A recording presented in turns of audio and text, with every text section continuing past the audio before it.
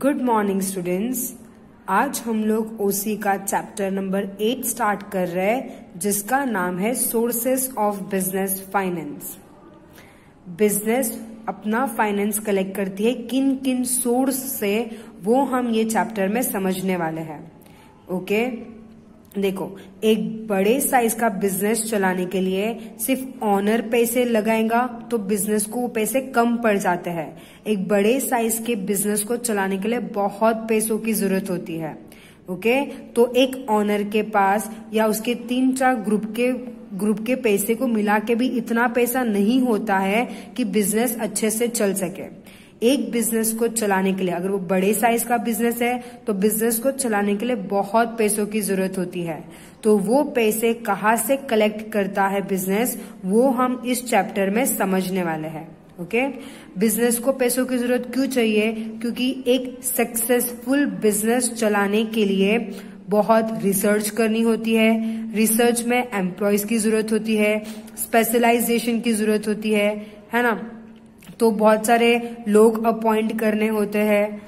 हर जगह पे पैसे इन्वेस्ट करना होता है। फिर प्रोडक्शन बड़ा बिज़नेस है तो ज़्यादा प्रोडक्शन करना होता है। तो उसके लिए पैसों की ज़रूरत होती है।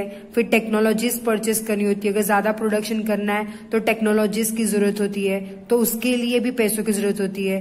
तो इन शॉर्ट अगर एक बड़ा बिज़नेस है तो बहुत इन्वेस्टमेंट चाहिए होता है, बहुत पैसे चाहिए होते हैं। और वो बहुत पैसे किसी एक के पास होना या दो तीन जन से मिला के बिज़नेस चलाना, ये इम्पॉसिबल है ओके तो इस चैप्टर में क्या सीखेंगे हम? सोर्सेस बिज़नेस अपना पैसा कहाँ कहाँ से कलेक्ट करती है और बिज़नेस को चलाती है, वो इस चैप्टर में हम समझने वाले हैं। नेक्स्ट है मीनिंग ऑफ़ बिज़नेस फाइनेंस अब ये बिज़नेस फाइनेंस होता क्या है?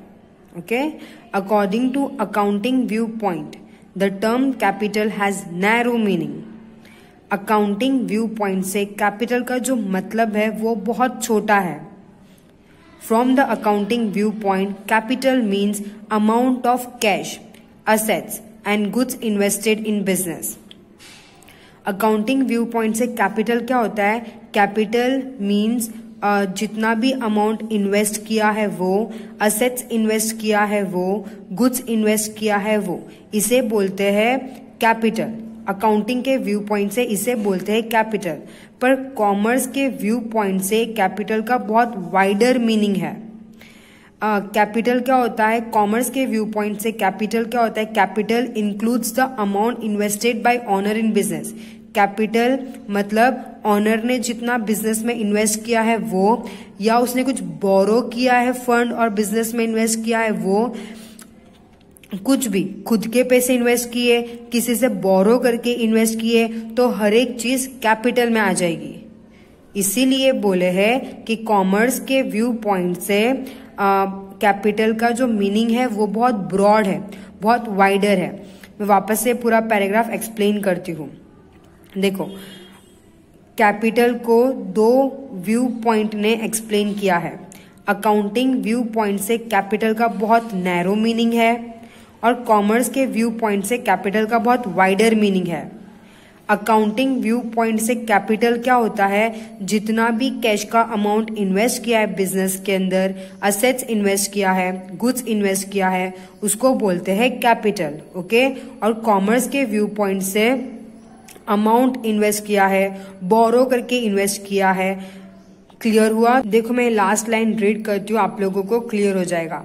Capital includes the amount invested by owner in business capital include करता है अमाउंट जितना ऑनर ने बिज़नेस में इन्वेस्ट किया है okay and the borrowed fund from different financial sources और दूसरे सोर्सेस से बोरो किया है बिज़नेस के लिए बोरो किया है। Thus, in broad meaning, capital means the fund raised to satisfy the various financial requirement of the business. Capital means fund जो बिज़नेस की रिक्वायरमेंट के लिए रिक्वायरमेंट को सेटिस्फाई करने के लिए लाया गया है उसको बोलते हैं कैपिटल क्लियर हुआ कैपिटल का ब्रॉड मीनिंग क्या है कैपिटल मींस फंड ऑनर ने दिया है या बोरो करके दिया है कैपिटल का मतलब होता है फंड जो ज़रूरत है to satisfy the various financial requirement of the business business की जो भी फाइनेंशियल रिक्वायरमेंट को कंप्लीट करने के लिए फंड की ज़रूरत होती है। या तो वो बोरो होगा या ऑनर का होगा ओके वो पूरे चीज़ को बोलेंगे कैपिटल अगर नहीं क्लियर हुआ होगा मीनिंग तो आप लोग पूछ सकते हो। नेक्स्ट टॉपिक है need of business finance business, finance की क्या ज़रूरत है? बिज़नेस में फाइनेंस क्यों चाहिए? ओके? तो first for establishing business business को एस्टेब्लिश करने के लिए फाइनेंस की ज़रूरत है। अगर बिज़नेस के पास फाइनेंस होगा तो वो अपनी रिसर्च कर सकेगा डॉक्यूमेंट्स प्रिपेयर कर सकेगा जैसे certificate of registration okay business को रजिस्टर्ड करने में भी अपने बिज़नेस को रजिस्टर्ड करने में भी पे, पैसों की ज़रूरत होती है। फ़ीस देनी होती है एक्सपर्ट्स को। तो हर एक चीज़ के लिए बिज़नेस फाइनेंस की ज़रूरत है। हम ये लाइन को रीड करते हैं आप लोगों को क्लियर हो जाएगा। Various expenses are to be incur to establish the business unit बहुत एक्सपेंसेस चाहिए होते हैं बिज़नेस को एस्टेब्लिश करने के लिए। Capital is required to meet the expenditure like conducting primary and extensive research research करने के लिए पैसों की ज़रूरत चाहिए, ज़रूरत होती है। Documents to prepare documents like certificate of registration अगर सर्टिफिकेट बनाना है तो पैसों की ज़रूरत चाहिए होती है, पैसों की ज़रूरत होती है। Fees of experts in the field of law registration fee etcetera मतलब एक बिज़नेस को एस्टेब्लिश करने में भी पैसों की ज़रूरत होती है। ओके? हम क्या पढ़ रहे बिज़नेस फाइनेंस की ज़रूरत क्यों होती है? तो बिज़नेस फाइनेंस की ज़रूरत होती है, हमने जो बिज़नेस सोचा है, उसको एस्टेब्लिश करने में भी पैसे की ज़रूरत होती है। कोई भी बिज़नेस ऐसे ही एस्टेब्लिश नहीं करेगा रिसर्च करेगा कि मेरा बिज़नेस कौन से एरिया में ज़्यादा अच्छे से चल सकता है, कौन से चीज़ का बिज़नेस मेरे को करना चाहिए। तो हर एक रिसर्च करनी होती है। तो उसके लिए पैसे चाहिए होते हैं। डॉक्यूमेंट्स प्रिपेयर करने के लिए पैसे चाहिए होते हैं। फ़ीस देनी होती है एक्सपर्ट्स को। ओके सेकेंड है for purchase of fix asset fix asset purchase करने में भी पैसे चाहिए होते हैं। The long term investment made for the asset of the business unit is called fix asset fix asset क्या होता है? जब लॉन्ग टर्म इन्वेस्टमेंट करते हैं। बिज़नेस के असेट्स में लॉन्ग टर्म इन्वेस्टमेंट करते हैं तो उन असेट को बोलते हैं fix asset in this type of asset frequent change is not possible और ऐसे असेट में फिक्स असेट में फ्रिक्वेंटली चेंज नहीं होता है, ये हमने अकाउंट्स में पढ़ा है है ना? और फिक्स असेट में लॉन्ग टर्म इन्वेस्टमेंट करना होता है. बहुत टाइम तक के लिए इन्वेस्टमेंट करना होता है और बहुत ज़्यादा करना होता है. तो बहुत ज़्यादा इन्वेस्टमेंट कैसे होगा? जब कंपनी के पास पैसे हो गए. Long term finance in large proportion is needed for acquiring fix asset देखो लैंड परचेस करनी हो बिल्डिंग परचेस करनी हो मशीनरी व्हीकल ये सब में बहुत पैसे चाहिए होते हैं, है ना? तो यहाँ पे भी ज़रूरत हो गई बिज़नेस फाइनेंस की। कोई भी बिज़नेस नहीं चल सकता है लैंड के बिना मतलब होनी चाहिए ना, कहाँ पे बिज़नेस करेंगे? लैंड होनी चाहिए बिल्डिंग मशीनरी व्हीकल ये सब बिज़नेस के पास होना चाहिए। और ये बिज़नेस के पास कब आएगा? जब बिज़नेस के पास बिज़नेस फाइनेंस होगा। ओके थर्ड है for current assets business finance की ज़रूरत होती है करंट असेट्स के लिए भी. ओके देखो वर्किंग कैपिटल अब ये वर्किंग कैपिटल क्या होता है? कैपिटल जो रोज रोज चाहिए होता है.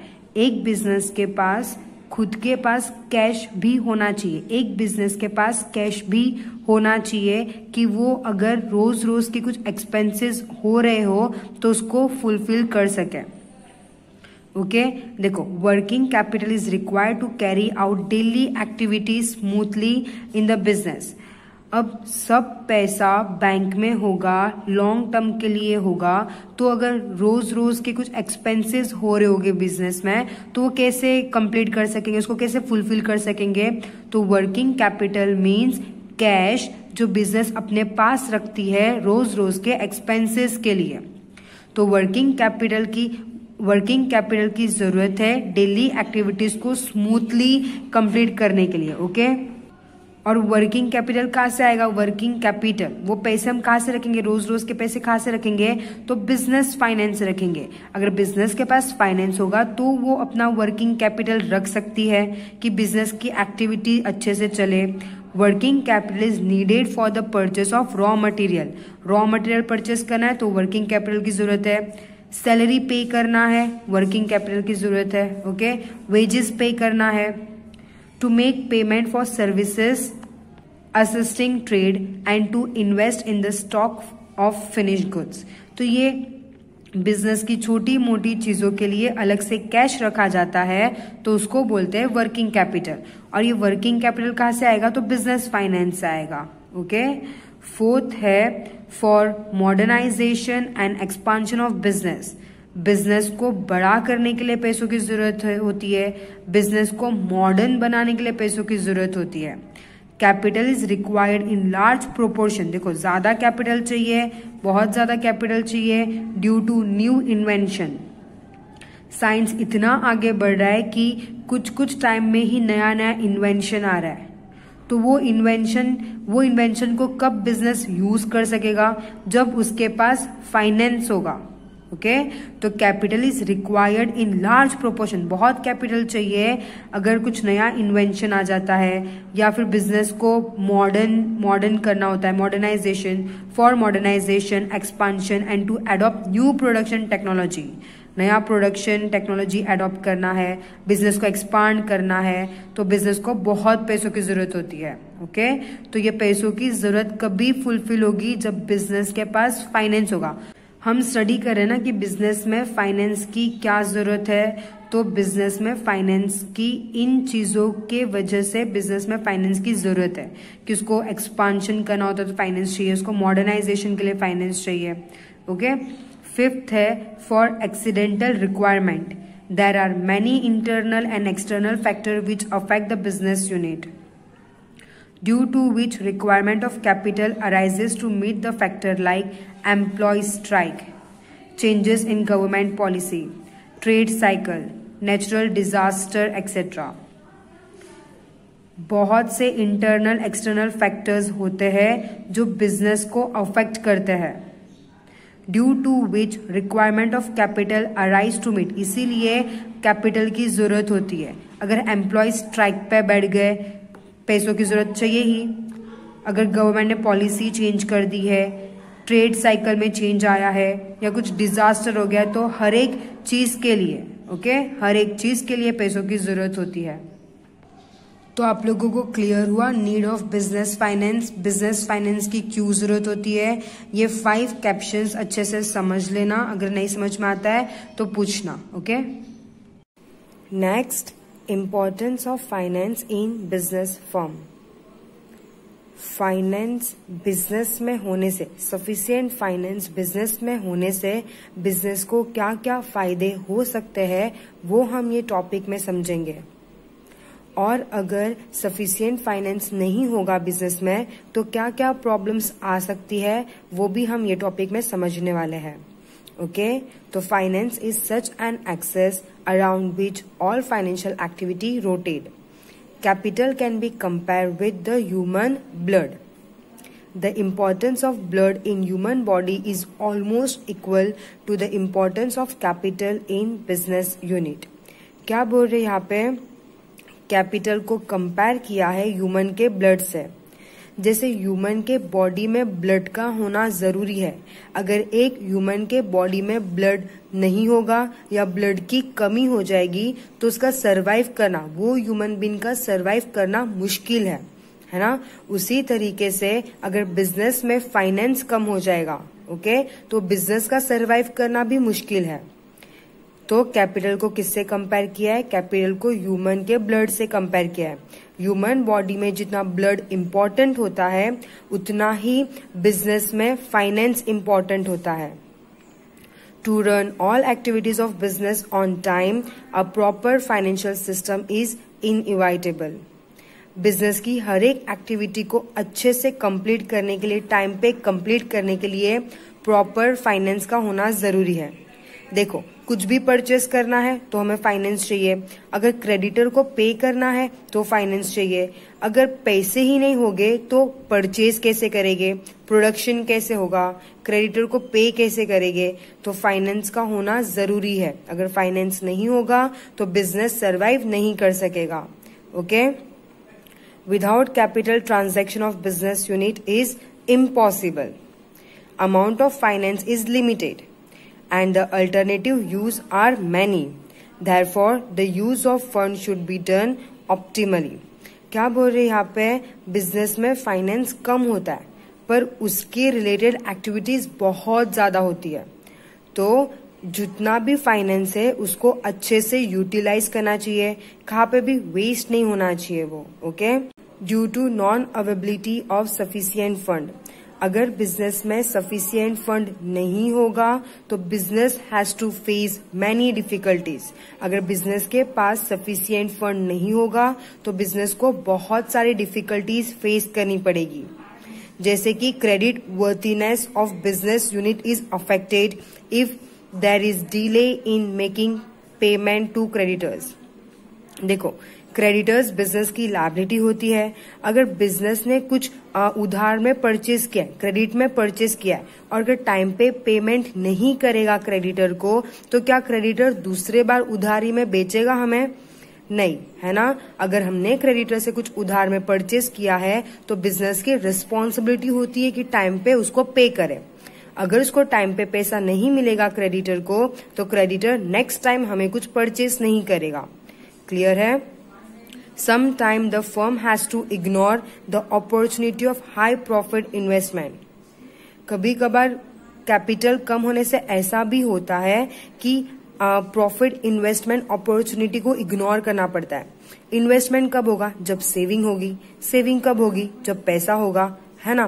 तो इन्वेस्टमेंट अपॉर्चुनिटी को भी इग्नोर करना पड़ता है क्योंकि सफिशियंट फंड अवेलेबल नहीं होता। Okay overlook the advantages of cash discount company को कैश डिस्काउंट कब मिलेगा? जब वो उसकी डेट पे पे कर सकेगा है ना?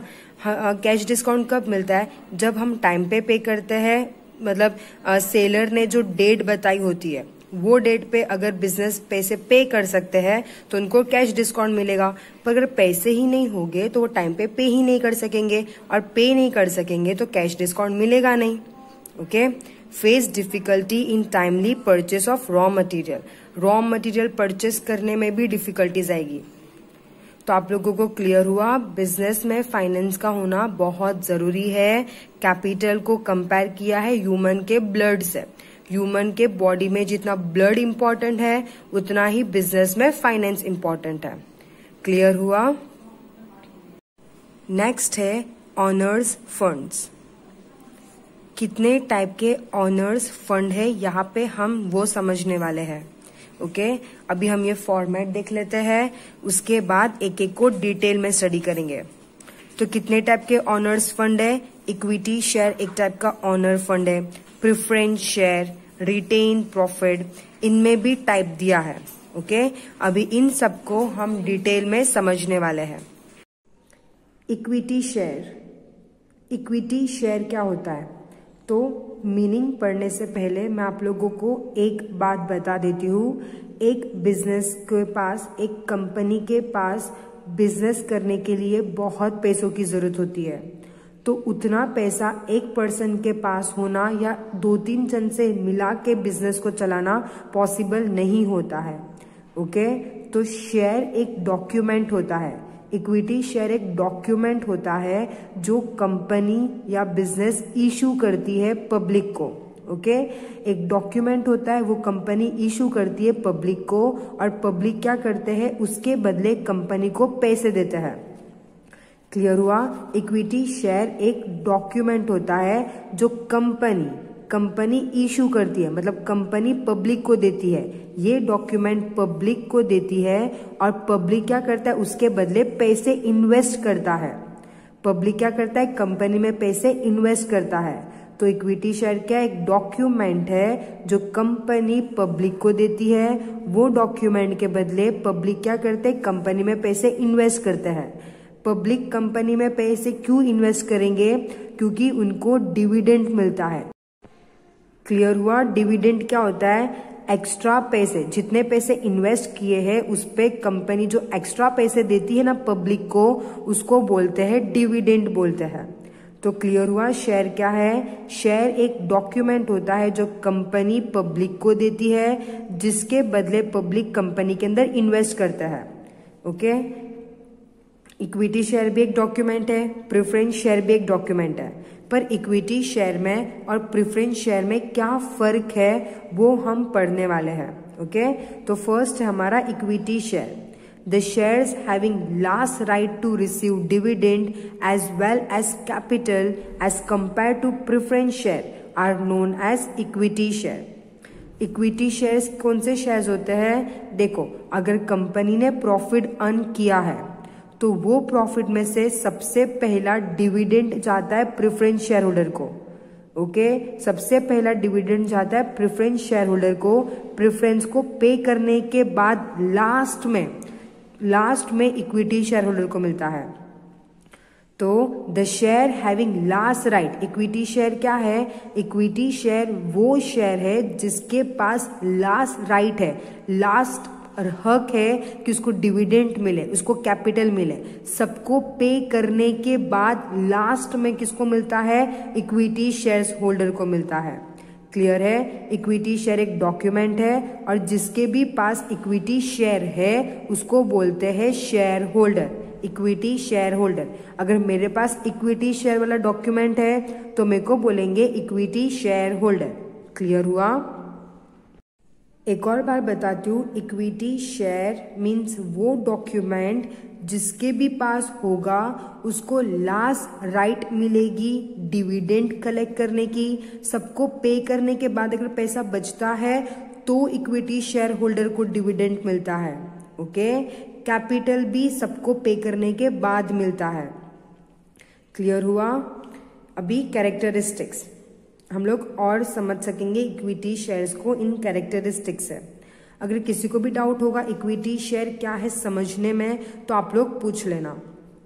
फ़र्स्ट है true owners this type of share holder are called true owner of of company equity share holder को कंपनी के ट्रू ऑनर बोले जाते हैं उन लोग okay and faithful companion means साथी because they take more risk than preference share holder क्यों उनको ट्रू ऑनर बोले जाते हैं और फेथफुल साथी बोले जाते हैं? क्योंकि इक्विटी शेयर होल्डर बहुत ज़्यादा रिस्क लेते हैं compare to preference share holder company जितना भी प्रॉफिट अर्न करेगी तो सबसे पहले प्रिफरेंस शेयर होल्डर को देती है।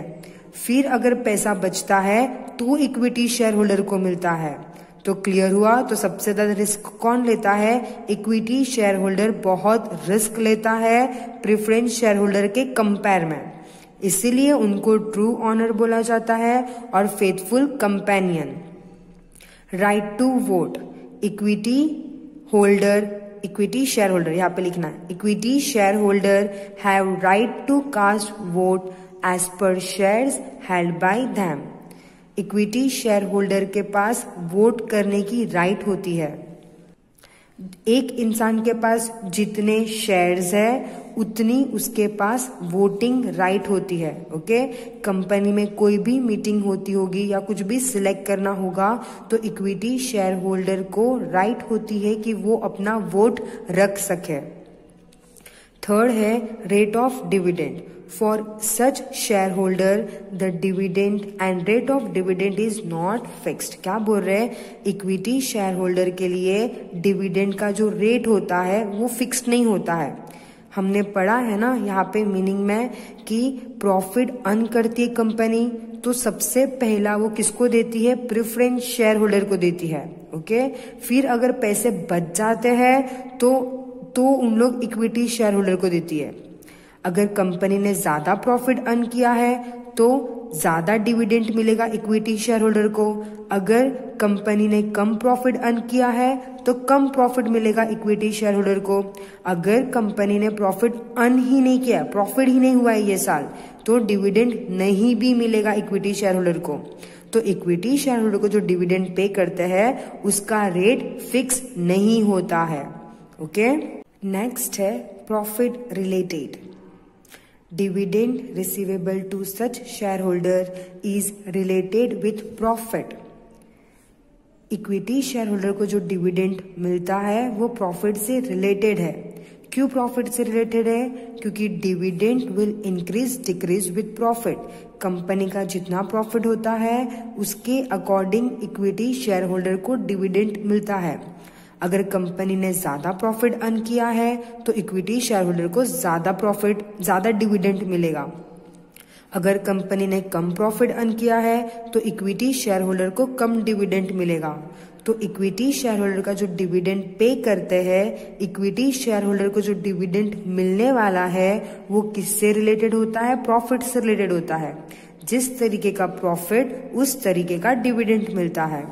Okay general meeting this share holder have right to attend the general meeting equity share holder के पास राइट है कि वो जर्नल मीटिंग अटेंड कर सके वोट कर सके एंड इलेक्ट द डायरेक्टर और डायरेक्टर को इलेक्ट कर सके। क्लियर हुआ?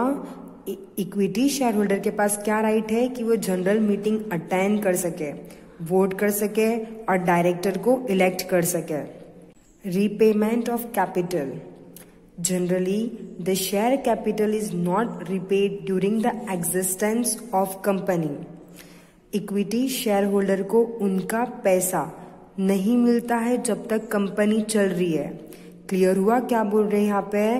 इक्विटी शेयर होल्डर को जब तक कंपनी चल रही होती है तब तक उनका पैसा नहीं मिलता है। कंपनी बंद होने के बाद मिलता है ओके जब तक कंपनी एग्जिस्ट है, तब तक तो उनको, उन्होंने जो इन्वेस्ट किया है, वो पैसा नहीं मिलने वाला है।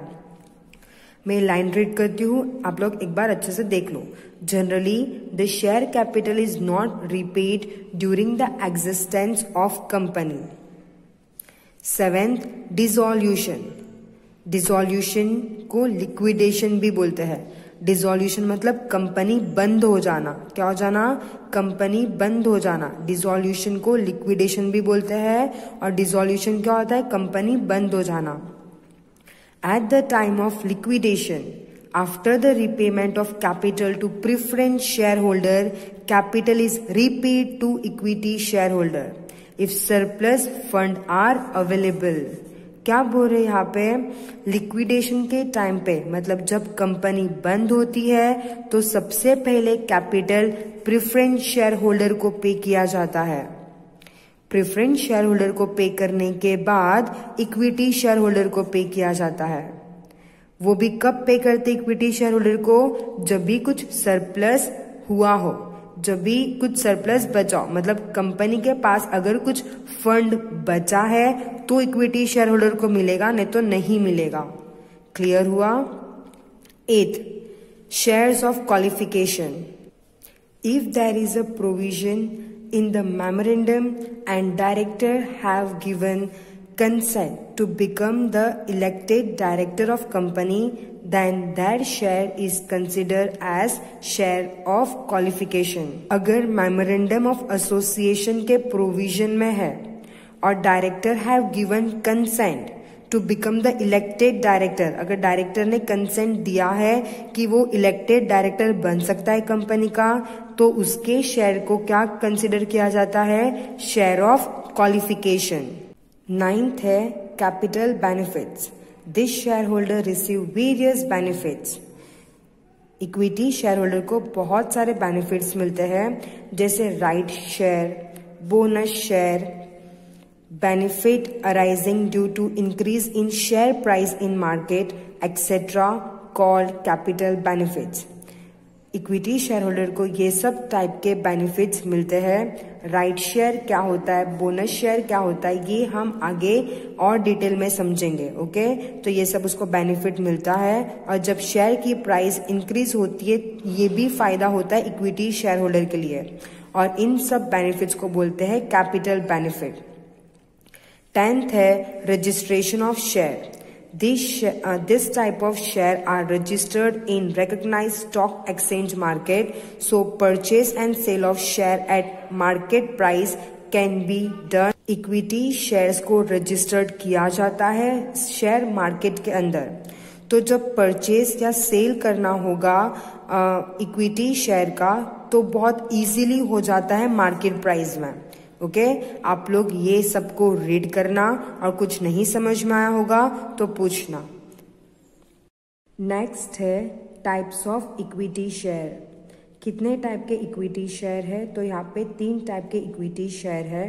फ़र्स्ट है ordinary equity share this share are very important for the company ordinary equity share बहुत इंपॉर्टेंट होता है कंपनी के लिए। Company which raise share capital it is compulsory to issue equity shares. Uh, जो भी कंपनी अगर issue करना चाहती है शेयर्स शेयर्स इशू करना चाहती है तो उसको कंपलसरी पहले इक्विटी शेयर इशू करना पड़ेगा। इक्विटी शेयर होल्डर को कंपनी के ट्रू ऑनर बोले जाते हैं क्योंकि वो सबसे ज़्यादा रिस्क बैर करते हैं। कैसा रिस्क बैर करते हैं तो उनको इक्विटी शेयर होल्डर को कई बार इतना ऐसा हो जाता है कि उनको डिविडेंट ही नहीं मिलता है।